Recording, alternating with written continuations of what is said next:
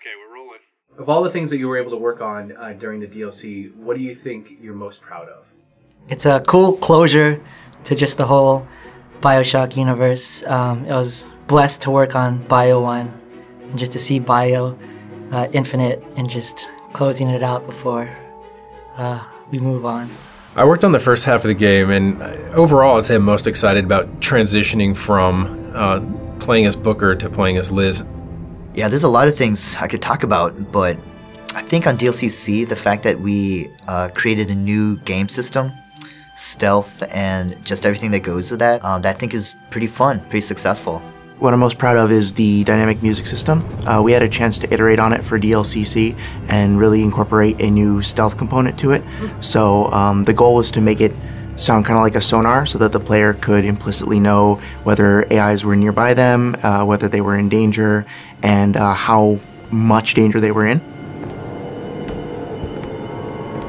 Confront your weakness! I'm probably most proud of uh, the the lock picking sequences I worked on. I made all the first person models and textures as well as all the the bits that pop out.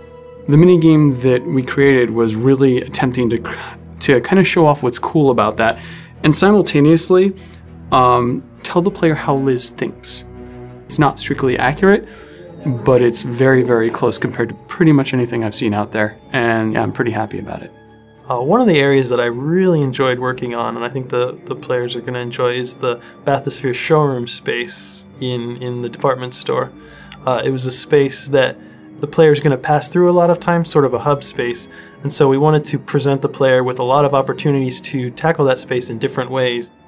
I'm most proud of the work that we did on the dealership. The branding for that I thought was pretty awesome. Um, it all came together in a really nice way with the level builders building out uh, our 2D elements into something that looked really spectacular in the space. Um, and it was just really fun to be part of that. Uh, we wanted to kind of dig deep in figuring out how do you sell the idea of, you know, your mom and pop car or your hot rod, um, or maybe even the housewife who takes the kids to school and picks up the groceries. How can you convey that and just, you know, introducing a whole new style Bathysphere? And so we had a lot of fun with this. Uh, I would say that I'm most proud of uh, the work that I did for the repair bay. Um, that was an area that I got to work on from start to finish and coming up with this, this very cool kind of multi-directional area that you can approach from all sorts of angles was, was a blast. My thing that I was probably most proud of for DLCC were my visual designs for the Ryan the Lion Daycare Center. So I did like um, this big billboard that kind of illustrated the main idea and the heart of the sort of propagandistic characters in the middle of it. It was really fun to work on. There are many things, but I think the most important of all was working on the crossbow. So uh, that brings me back to working on the crossbow on uh, Bioshock 1. I was proud to contribute to the whole of Rapture and being able to craft a unique terrain and the look and feel of the city. Just bring it back to this vibrancy that it once was and the splendor and building up small props that along the way that kind of add to this look and feel that support the idea that Rapture was this once glorious place. The thing I was probably most proud of is I got to work pretty extensively in the very end of the DLC, which will conclude um, at least this chapter of the uh, Bioshock Infinite story.